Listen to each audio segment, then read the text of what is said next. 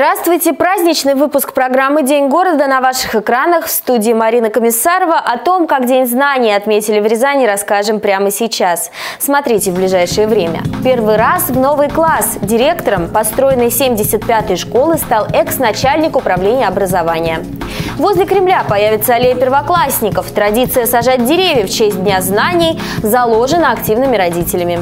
Пережить холода после пожара. В Касимове пострадавшие от пожара люди остались без помощи в разрушенном жилье.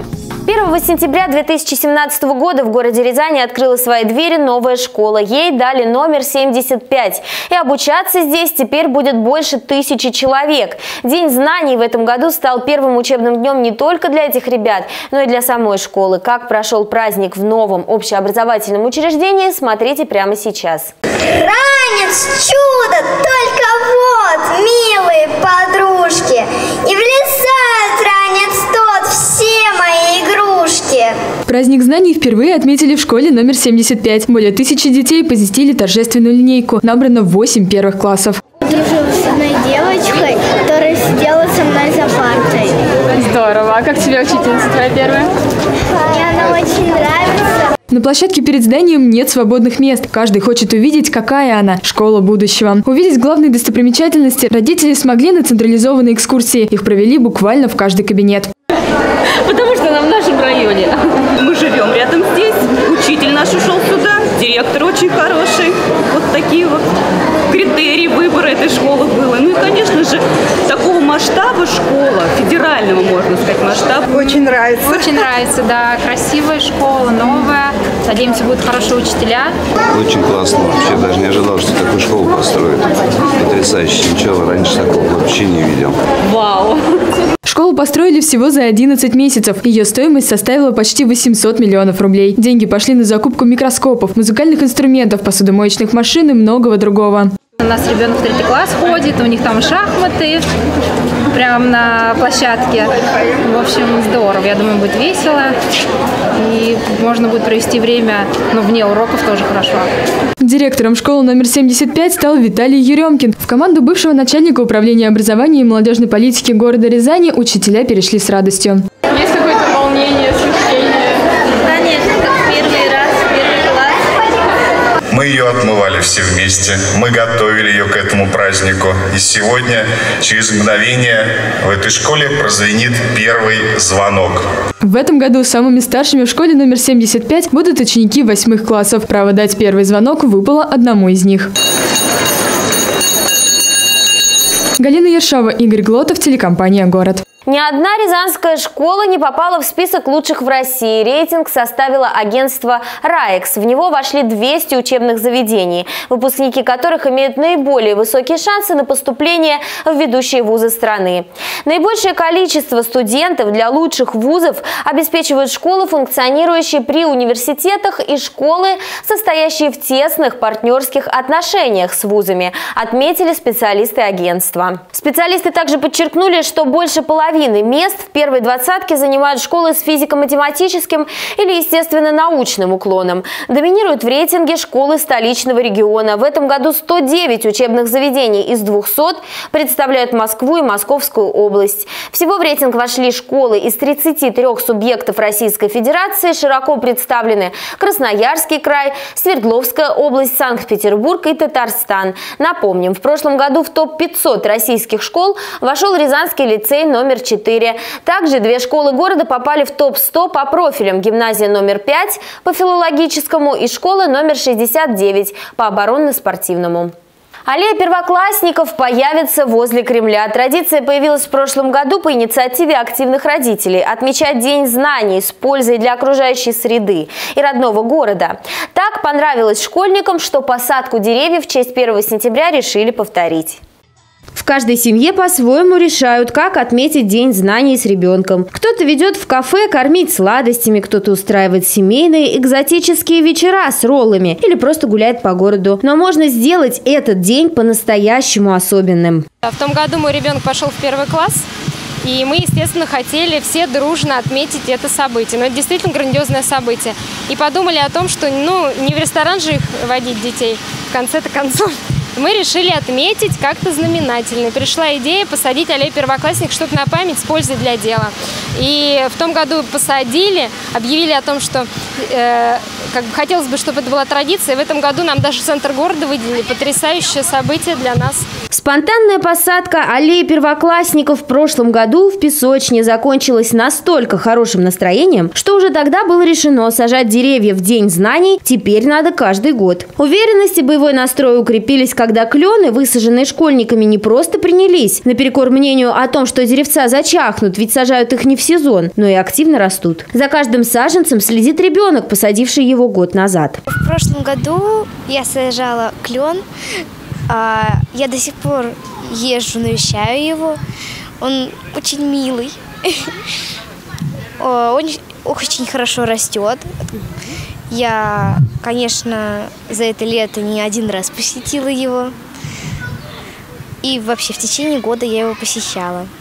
Мы его поливали, Идею высадить новую аллею первоклассника поддержала администрация города. И в нынешнем году организаторам, активным родителям и школьникам выделили место в центре города у Кремля. На этот раз многие снова сомневаются, примутся ли растения. Но и ребята, и их родители абсолютно уверены, примутся. Я думаю, что это все-таки великолепная э, причина позаботиться о природе нашего региона, потому что сейчас очень серьезный вопрос об экологии, особенно в нашей стране. Поэтому все-таки надеюсь, что данная акция будет проходить ежегодно и что через много-много лет мы сможем со своими детьми ходить по этой замечательной аллее и показывать, что, допустим, вот это вот, э, допустим, любое дерево, к примеру, это, с моей табличкой, что это дерево посадил я несколько десятилетий назад.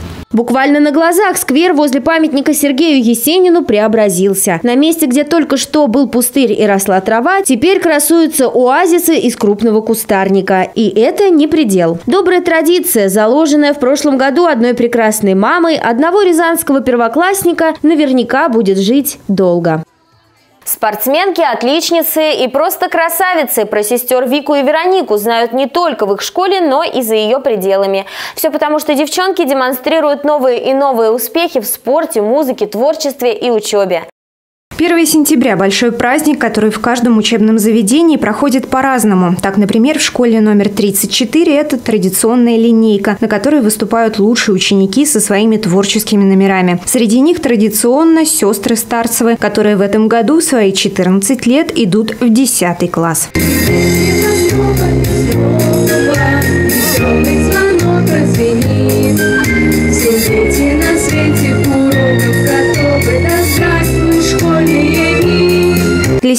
Старцевых выступление, причем не только на 1 сентября и не только с вокальными номерами, стало делом привычным. Они достигли огромных успехов во многих областях, в том числе и в спорте.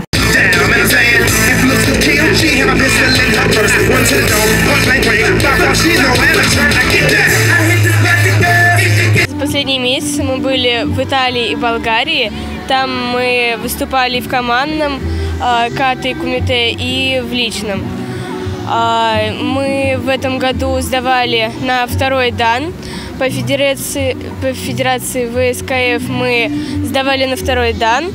А, по федерации ВКЦ мы подтверждали второй дан, а по федерации Каратена Мича мы сдавали на первый дан. А, самое сложное было сдавать, наверное, по федерации ВСКФ, потому что там непривычно, там очень много поворотов надо делать и там очень сложная программа.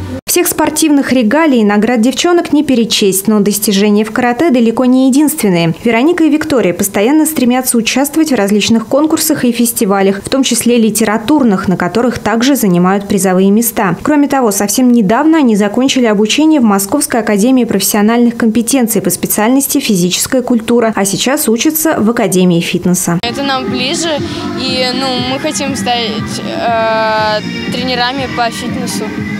Вот.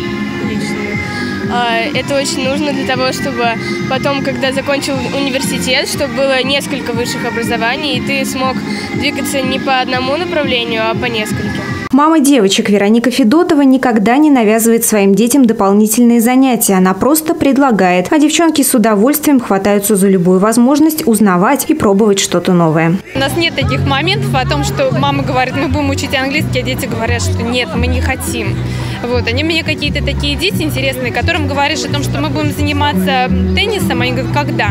Несмотря на успехи практически во всех сферах, девчонки не задаются, поддерживают добрые отношения с одноклассниками, хорошо учатся. Конечно же, мама ими безмерно гордится, а учителя поражаются их работоспособности. Сестры Старцевы – самые лучшие ученики школы номер 34, потому что мы, весь педагогический коллектив и учительские, родительские, поражаются их необыкновенному трудолюбию, э, упорству, целеустремленности. Девочки с успехом выступают на всех международных соревнованиях и успешно э, учатся в школе. Впереди у сестер не только новый учебный год, но и различные соревнования, конкурсы, в которых Викторию и Веронику наверняка ждут успех. Ну а нам остается поздравить девочек и пожелать им удачи. Праздник знаний всегда будет печальной датой для жителей города Беслан. Трагедию, которой завершилась торжественная первосентябрьская линейка в Бесланской школе, вспомнили сегодня в библиотеке имени Горького. 1 сентября 2004 года в школе номер один города Беслана обернулась страшной трагедией. Тогда во время торжественной линейки террористами было захвачено более тысячи заложников, среди которых оказались ученики школы, их родители и педагоги. В результате теракта погибло более 300 человек, в том числе и дети. 13 лет спустя, 1 сентября в Рязани в библиотеке имени Горького вспомнили жертв теракта. И это лишь первое мероприятие из цикла событий, посвященных борьбе с терроризмом. Оно проходит уже третий год. Это очень хорошее мероприятие, это памятная встреча, да, вспомнить те события, рассказать о них, да, ребятам, что там происходило. Понять их оценку да, событий, нашу оценку, да, чтобы такое впредь не повторялось. На патриотической акции присутствовали школьники, студенты, курсанты. И хотя многие из них не могут помнить того страшного времени, когда вся страна вместе с Бесланом переживала за жизни заложников, они понимают масштаб произошедшей трагедии. Кроме того, они не просто пришли на акцию, но и приняли в ней участие. Ребята прочитали воспоминания выживших в результате теракта. Слез не могли сдержать ни дети, ни взрослые. Ангелина, студентка первого курса музыкального колледжа прочла воспоминания одной из учительниц. В спортивном зале я ухаживала за детьми, старалась их защитить. Меня не пугали угрозы быть расстрелянным. Я добилась возможности выйти из зала и сорвала лепестки роз, валявшихся повсюду букетов. Эти букеты родители приносили на праздник. Я незаметно раздала эти букеты детям, эти лепестки детям. Они жевали их и тем самым хоть немного утоляли свою жажду. Я очень уважаю эту женщину, которая, за которой читаю мысли которых озвучиваю. Поэтому она, я, я не знаю, это действительно какое-то самопожертвование, самоотдача, безусловно, которая просто неописуема словами. Гордость за то, что я могу это прочитать, рассказать людям. Цветы, игрушки и бутылки с водой, которой так не хватало заложникам. Все это приносили к школе в Беслане после теракта. Все это принесли участники акции «Помним Беслан» в библиотеку имени Горького. Также организаторы предложили всем продолжить фразу «Трагедия Беслана – это». Это трагедия, которую невозможно забыть. Это горе и слезы всего мира. Такие слова оставляли ученики рязанских школ, которые в этот праздник выходили из зала библиотеки со слезами на глазах. Пожар в Касимове оставил без жилья несколько семей. Несмотря на обещание решить проблему людей, местные власти умыли руки. И теперь до холодов осталось совсем недолго, а жители пострадавшего от пожара дома не знают, как им быть дальше. Телекомпания продолжает следить за развитием событий с жителями, пострадавших от огня домов по улице Крылова. Вот как сами жильцы оценивают проделанную работу властей и ЖКХ. Вот что после пожара случилось. У нас все залито. То, что сделали ремонт, нам никто ничего не возмещает. Дали 10 тысяч, 40 тысяч, все. А делов здесь очень тьма. Как быть? Как нам жить вообще? Как жить? Это что, все наплевать? Нам сказали, что нас расселили. Нас никто не расселил. Мы все здесь живем. Здесь вообще, здесь, если мы не здесь не будем жить, здесь все украдут. Город бросил, дескать, приехали здесь два-три раза, и все, и больше никто не видит здесь. Крышу сделали, я не спорю. Как дальше жить? Просили по-человечески, включите нам газ. Газ включите. Мы будем отапливать, хоть тепло было дома, дома здесь жить-то вообще, приготовить пищу какую-нибудь. Нас отсылают друг на друга. Кому звонить? 112 звонили, туда звонили. Вот, дело на этом все остановилось. Вот вытяжку сделали, отопления нет, все холод, все мороз, все гниет, плесень. А мне здесь жить, это плесень, грибок, рак. Вот все стены треснули. Сказали, мам, крышу сделаем и все. Но где же у нас какая справедливость должна быть, а люди, человеческое такое отношение-то?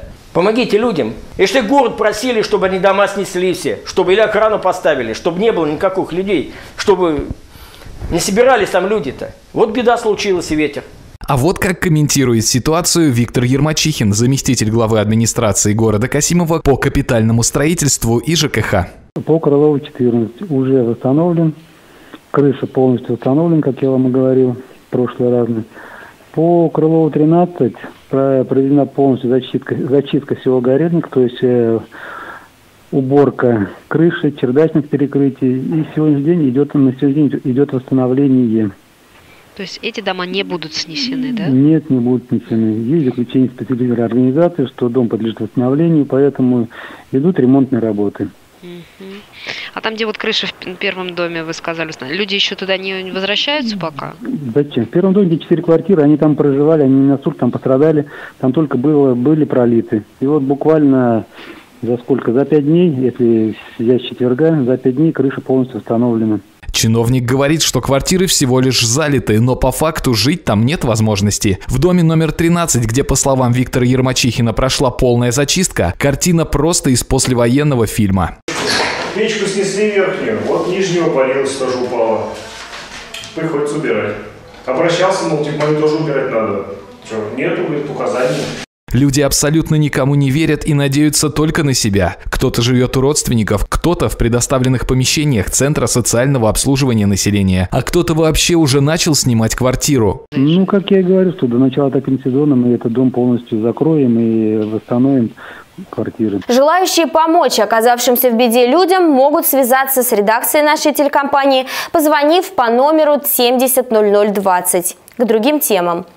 Отсутствием дорог в Рязани сейчас никого не удивишь, вот только порой проблема с бездорожьем достигает тех масштабов, что передвигаться от дома или к дому становится невозможным и порой даже небезопасным. Жители улицы Щерса бьют тревогу. В их районе ремонт дороги крайне необходим. Ничейную дорогу обнаружили жители поселка Южный. За домом номер 37 на улице Щерса уже больше 20 лет не ремонтировали асфальтовое покрытие. Управляющая компания говорит, что не несет за нее ответственность. Городская администрация также не может назвать имя владельца территории. Они нам прислали ответ, что данная дорога ремонту не подлежит, поскольку не знаем, чья территория. Как так в городе не знаю, чья территория? То есть мы боремся с этим уже на протяжении трех лет, это точно. Яму в полметра глубиной жители дома засыпали битым кирпичом, но во время дождя границы лужи скрыты. Спокойно проехать здесь удается лишь местным жителям. Остальные машины периодически вытягивают с помощью троса. Оказывается, что вода стекает во двор с основной трассы, потому что дорога находится ниже уровнем. Из-за отсутствия ливневой канализации и раскидистых деревьев лужам просто некуда деться. Грязь непролазная, дождик, весной снег тает, здесь лужа, с детьми в дом творчества детей водят, в садики. То есть только либо на лодке на резиновой, как потоп, либо в сапогах. То есть это невозможно. Активисты дома обращались в дирекцию благоустройства города, управляющую компанию, префектуру железнодорожного района. И пока на их проблему никто не реагирует, им приходится искать пути обхода разбитой дороги. Да вот с палочкой хожу. Как? Вот мы устроили вот здесь вот тропиночку, вот здесь вот по, по травке ходим. И все. Нине Мазиной почти 80 лет. Больше половины жизни она провела в этом доме. Сейчас ей некуда выйти посидеть. Ни лавочек, ни детской площадки здесь нет. Однако женщина помнит, что далеком 71-м отношение к придомовой территории и дороге было другим. Здесь у нас дорога убиралась, всегда убиралась. Два, у нас муж с женой убирали. Они убирали от дома управления. Потом они умерли. Я уж не знаю, сколько лет тут не убирается. И все, на этом все прекратилось. Больше дорогу никто не убирает. Вы посмотрите, какой слой земли. Тут хоть картошку вот сажай ее, уж скоро вообще, как будто, как будто вообще здесь асфальта нет. Одна грязь. Наша телекомпания направила запрос в администрацию города, чтобы разобраться, кто сегодня отвечает за территорию. В течение семи дней мы получим официальный ответ властей. Галина Ершова, Игорь Глотов, телекомпания «Город». Лучшим лесным пожарным России может стать рязанец. На конкурс сотрудник пожарной службы отправится уже в начале будущей недели, а пока полным ходом идет подготовка к ответственной миссии. В борьбу за звание лучшего лесного пожарного России вступят парашютисты, десантники авиалесоохраны и наземные лесные пожарные из 25 регионов. Рязань представит лесной пожарный Владимир Земченков. Летом этого года он стал победителем регионального конкурса «Лучший лесной пожарный Рязанской области». Состязания проводятся по уровню физической подготовки, знаниям теоретических основ лесопожарного дела, умением владеть ручным инструментом, попутно преодолевая сложную полосу препятствий. Все этапы практических соревнований максимально приближены приближены к реальной обстановке. Также в ходе тушения лесным пожарным приходится преодолевать различные препятствия – лесные завалы, заболоченные территории, водные преграды и практический этап соревнований с высокой точностью имитирует условия преодоления таких преград. Многие конкурсанты имеют значительный опыт ликвидации сложных, крупных, горных лесных пожаров в экстремальных погодных условиях. Конкуренция за право стать лучшим лесным пожарным России 2017 года очень высокая. Даже небольшой опыт прошедших двух лет показывает, показывает, что конкурс – это не просто соревнование лучших из лучших, а эффективная площадка для обмена опытом практиков лесного пожаротушения высочайшего уровня. Пройдет конкурс с 4 по 7 сентября в подмосковном Пушкино. Астероид размером с город приблизится к Земле в День знаний. В пятницу 1 сентября к Земле приблизится крупный астероид, который пройдет на относительно близком расстоянии от планеты. Размер астероида Флоренс составит 4,4 километра, по данным НАСА. Космическое тело пролетит на расстоянии в 7 миллионов километров от Земли, однако оно не представляет угрозы для планеты. Вместе с тем специалисты отмечают, что Флоренс является одним из самых крупных небесных небесных тел, которые подходили к Земле так близко за всю историю наблюдений. Ученые возлагают на Флоренс большие надежды. Они хотят выяснить точный размер астероида и запечатлеть события на его поверхности. Наша телекомпания поздравляет школьников, студентов, родителей, учителей и преподавателей с Днем знаний и началом нового учебного года. Хороших отметок, интересных открытий. А я же прощаюсь с вами до следующих выпусков. До свидания.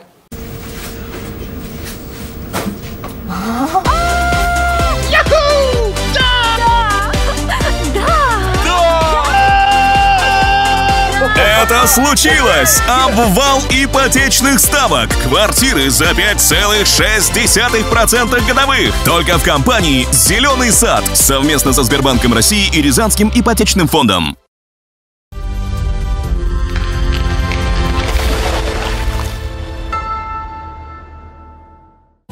Всегда хотел свой дом.